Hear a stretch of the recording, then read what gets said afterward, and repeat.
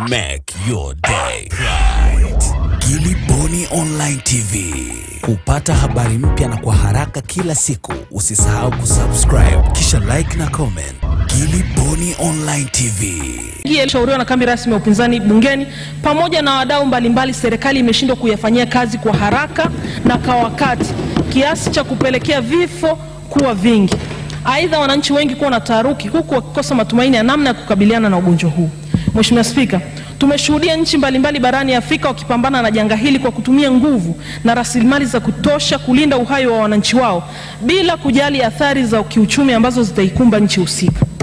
Naomba kunukuu kauli ya rais wa Ghana alipotoa wito kwa viongozi wa Afrika dhidi ya janga hili. Alisema, we know how to bring the economic back to life what we do not know is how to bring people back to life.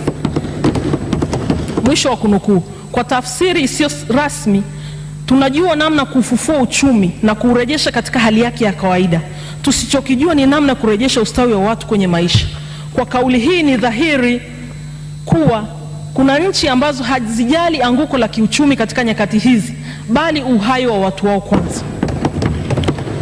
Mheshimiwa Spika, serikali yoyote makini katika nyakati hizi za majanga kama haya, kipaumbele cha kwanza ni uhai na afya ya wananchi wake na si vinginevyo. Bila afya hakuna uchumi. Ni vema serikali na viongozi wake wakatambua kuwa uchumi ukianguka unaweza kufufuliwa na si uhai wa watu. Kambi rasmi ya upinzani bungeni inaendelea kusisitiza na kuitaka serikali kuwekeza nguvu zake zote katika mapambano dhidi ya korona ili kuokoa uhai wa wananchi wake na ili kuzuia maambukizi zaidi. Mheshimiwa Spika, tunaitaka serikali kuendelea kutoa taarifa sahihi na kwa wakati kwa umma wa Tanzania bila kificho, kwani janga hili si mlipu, wa mlipuko wa korona sio ilani ya sera, ya, ya sera au cha, ya chama chochote. Kwa uwepo wake si udhaifu wa ilani bali ni janga la kidunia ambalo mikakati ya kukabiliana nayo ifanyike kwa uwazi na kwa ushirikiano wa wadau mbalimbali. Mheshimiwa Spika, aidha utoaji wa taarifa kwa umma kuhusu mwenendo wa maambukizi ya korona unatiliwa shaka sana. Watanzania wengi tunaendelea kujiuliza usahihi wa taarifa hizo na kama kuna uwazi wa kutosha juu ya idadi halisi ya watu walioambukizwa na idadi ya vifo. Serikali haipaswi kuficha chochote. Ni vema ikatambua kuwa taarifa ya vifo na idadi ya watu walioambukizwa zina, zinapatikana kupitia familia na ndugu wa wahusika. Hata hivyo, kupitia mitandao ya kijamii tunaona na kusoma ujumbe mfupi wa maandishi wa familia mbalimbali zikieleza kuhusu wapendwa wao kupata maambukizi na au kupoteza maisha.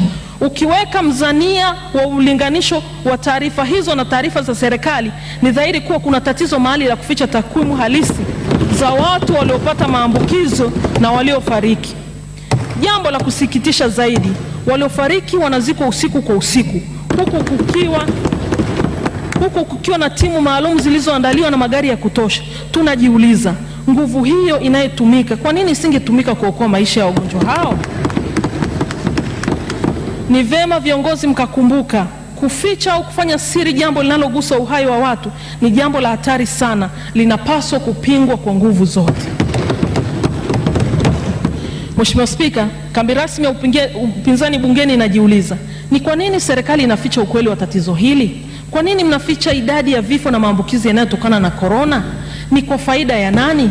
Na kwa bahati mbaya sana, Mheshimiwa Spika, gonjwa hili halichagui wala kubagua, linaweza kumpata yoyote yule wakati wowote bila kujali cheo chake. Mheshimiwa Spika, tunachukua fursa hii tena tena kuishauri serikali kutoa taarifa sahihi na kwa uwazi, kwani kwa kufanya hivyo mtatoa picha halisi na, kuyof, na kuwafanya wananchi kuendelea kuchukua tahadhari zaidi, na ikifikia hata watu, uh, watu wananchi wenyewe wataamua kufanya lockdown wenyewe kwa kujua uhalisia wa tatizo kwa, kwa ukubwa.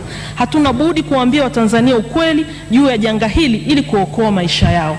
Mheshimiwa Spika, kumekuwa na malalamiko ya wananchi wanapokuwa na wagonjwa kukataliwa kupokelewa katika hospitali mbalimbali katika jiji la Dar es Salaam hivyo kupelekea wagonjwa kufariki wakiwa katika mahangaiko ya kutafuta hospitali ambazo watapokelewa ili kupata huduma.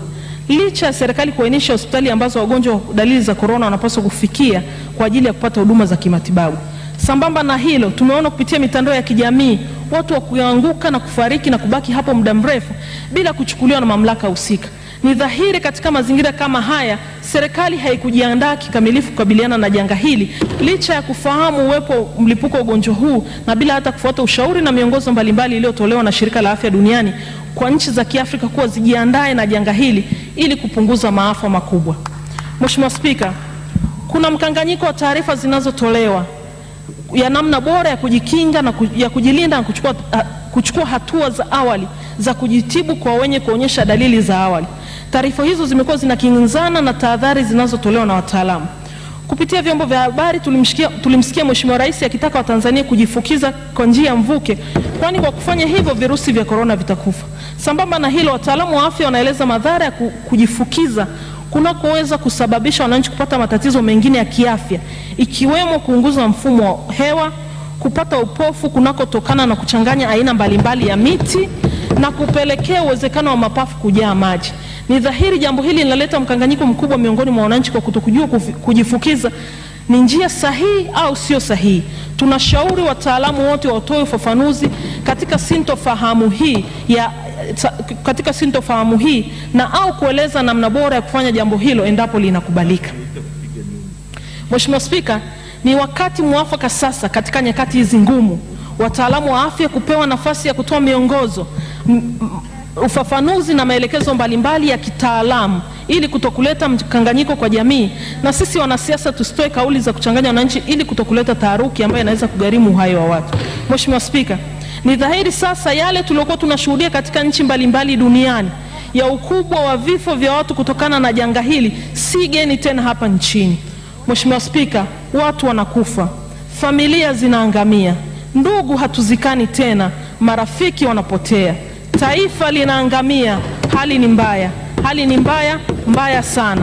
Ni wakati sasa wa serikali kutambua umuhimu wa kulinda uhai wa wananchi wake.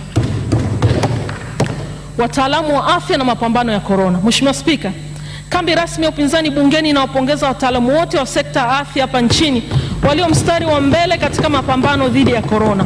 Kwa hakika wamebeba jukumu kubwa la mapamba, kupambania uhai wa Watanzania.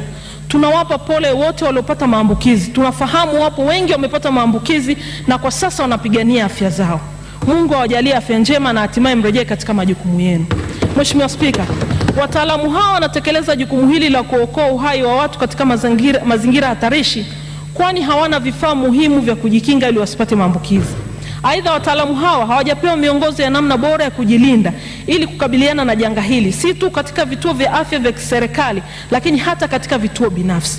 Sambamba na hilo, serikali inawajibika kuwaandalia mazingira rafiki wataalamu wote na kuwapatia posho na stahiki mbalimbali ya kufanya kazi katika mazingira hatarishi, pia kuwapatia makazi maalumu ya kukaa wanapomaliza majukumu yao ya kila siku ili kulinda familia zao na jamii inayowazunguka kuto kupata maambukizi endapo wao wakibainika kupata maambukizi. Mheshimiwa Spika, kambi rasmi ya upinzani bungeni inazo taarifa ya baadhi ya madaktari na manesi waliopatwa na maambukizi wakiwa wanatekeleza majukumu yao. Aidha, wataalamu hao wametengwa katika maeneo maalum. Serikali inapaswa kuwahudumia wataalamu hawa na kuwapatia huduma zote muhimu na za msingi katika kipindi chote wanachopatiwa matibabu na kuhakikisha familia zao zinatunzwa. Upimaji wa virusi vya korona kwa Watanzania wote. Mheshimiwa Spika, zoezi la upimaji wa wagonjwa wanaodhaniwa kuwa na maambukizi ya korona si wa kuridhisha. Kupitia taarifa zetu kwa vyombo vya habari hapa nchini, tuliitaka serikali iweke wazi idadi ya watu waliopimwa toka kuanza kwa janga hili la korona mpaka leo, lakini hakuna uwazi wa kuonyesha idadi halisi ya waliopimwa. Sambamba na hilo, serikali inatumia maabara moja tu iliyoko Dar es Salaam, jambo ambalo linaweza lisiwe na ufanisi wa, kuto, wa kutoleta majibu ya haraka ukilinganisha na ukubwa wa nchi yetu. Mheshimiwa Spika, ni dhahiri sasa maambukizi ya ugonjwa wa korona umesambaa nchi nzima, na kwa mujibu wa wataalamu wa afya na tafiti mbalimbali zinaonyesha kuwa wapo watu, wa, watu, wa, wapo watu ambao wanaweza kuwa na virusi lakini wasionyeshe dalili yoyote. Ni wakati sasa serikali ifanye upimaji wa Tanzania wote kwa lazima ili kudhibiti maambukizi zaidi. Jambo hili linahitaji maamuzi ya haraka. Kambi rasmi ya upinzani bungeni inashauri serikali kufanya yafuatayo: kuhakikisha tunakuwa na maabara za kutosha zenye uwezo ikiwemo mobile clinic kulingana na jiografia ya nchi yetu, kuhakikisha tuna vitenganishi vya kutosha, kuwa na wataalamu wa afya wa kutosha na kuto, kutenga fedha maalum kwa zoezi hili. Ai- Aidha, fedha, zilizotolewa na wahisani mbalimbali zielekezwe kununua mahitaji yote muhimu ya kusaidia mapambano dhidi ya korona, ikiwemo mashine za kusaidia kupumua na kadhalika. Ni imani yetu serikali italichukulia jambo hili kwa uzito unaostahili. kupima PPE. Labda nijibu suala la motisha kwa watumishi. Mheshimiwa Spika, hili tumelipokea na tumeanza katika baadhi ya halmashauri kuzielekeza halmashauri kutenga hostel kwa wale watumishi ambao pia wanatoa huduma katika isolation centers, wasirudi nyumbani, wakae kwenye hostel siku kumi na nne ili pia wanapobadilisha wale wengine waweze pia kuwakinga familia zao wasipate maambukizi. Lakini pia tuna motisha ambao tunawapatia hatujakamilisha kuwapatia zote, lakini tumeanza pia kutoa motisha kwa ajili ya watumishi. Kuna suala hili la mazishi, Mheshimiwa Spika, nakubaliana na Mheshimiwa Hasna Mwilima, hii siyo Ebola na changamoto iliyotokea hata miongozo, kwa sababu huu ugonjwa sayansi yake bado ni mpya, kwa hiyo kila siku kuna new information. Kwa hiyo tunalipokea, tutaendelea kulichambua na kulifanyia kazi na Jana kwa mfano pia kulikuwa na maiti moja nikaocheki na wataalamu wangu turuhusu kusafiri, lakini wakanishauri mheshimiwa, kuna baadhi ya nchi imeonekana kwamba kuna watu wamekuwa contaminated wakati wa kuhendo, wakati wa kusafirisha na wakati wa kuzika, lakini tunalipokea Mheshimiwa Spika, kwa sababu Watanzania pia wanapenda kuzika wapendwa wao katika maeneo ambayo wanajua wataenda kila mwaka kwenda kusafisha makaburi, kwenda kuwatilia ubani. Kuhusu elimu tumepokea ushauri, tutaendelea kutoa elimu kuhusu korona kwa tumeanza kutoa vyombo, uh, kupitia vyombo vya habari elimu ya afya kwa umma. Pia tumetoa kupitia TV na redio na social media, na kubwa amelisema Mheshimiwa Oscar Mukasa na wewe Mheshimiwa Spika, it's about kubadilisha tabia. Na mimi niseme waheshimiwa wabunge, korona itakuwepo, lazima tujifunze kuishi na korona, na kubwa ni kutokuwa na hofu bali kuchukua tahadhari ya kujikinga na maambukizi. Kwa hiyo tutaendelea kutoa elimu. Mheshimiwa Spika, tumeanza kutumia watu wanaitwa community health workers ambao tumeshawarasimisha rasmi katika jiji la Dar es Salaam na Benjamin Mkapa tumeajiri mia nne, lakini pia tunatumia vikundi vya kijamii. Kwa hiyo lengo letu kila halmashauri tutakuwa na community health workers katika ngazi ya vitongoji pamoja na mambo ya korona, lakini pia watahamasisha mambo ya malaria, kifua kikuu, afya ya mama na mtoto. Lakini pia Mheshimiwa Spika, tutaendelea kutoa elimu kuhusu matumizi ya tiba asili, tusidharau. Tunacho wizara kitengo cha tiba asili na tiba mbadala. Kwa hiyo kubwa ni kutoa maelekezo sahihi na elimu sahihi kwa wananchi jinsi ya kujikinga na janga hili.